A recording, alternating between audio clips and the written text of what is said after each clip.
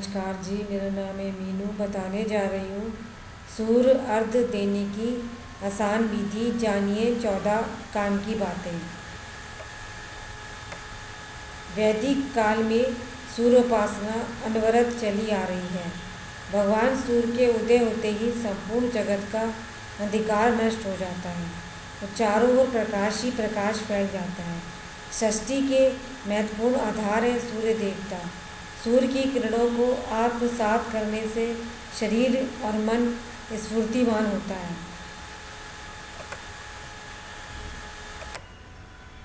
नियमित सूर्य को अर्ध देने से हमारी नेतृत्व क्षमता में वृद्धि होती है। बल, तेज, पराक्रम, यश एवं उत्साह बढ़ता है।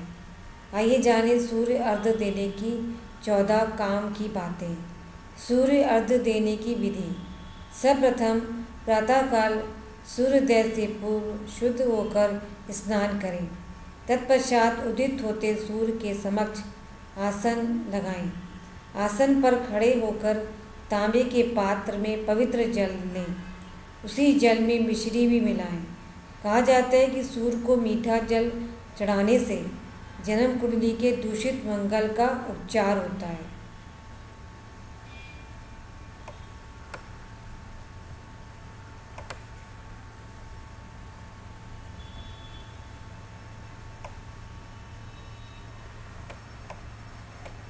मंगल शुभ हो, तब उसकी शुभता में वृद्धि होती है।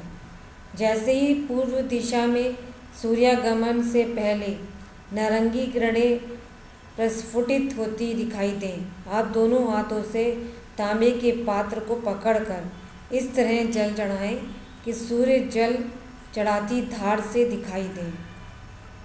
सातवां प्रातःकाल का सूर्य कोमल होता है, उसे सीधे देखने से आँखों की ज्योति बढ़ती है। आठवां सूर्य को जल धीमे धीमे इस तरह चढ़ाएँ कि जलधारा आसन पर आग गिरे, ना कि ज़मीन पर। नवा, ज़मीन पर जलधारा गिरने से जल में समाहित सूर्य ऊर्जा धरती में चली जाएगी और सूर्य अर्ध का संपूर्ण लाभ आप नहीं पा सकेंगे। दसवां, अर्ध देते समय निम्न मंत्र का पाठ करें।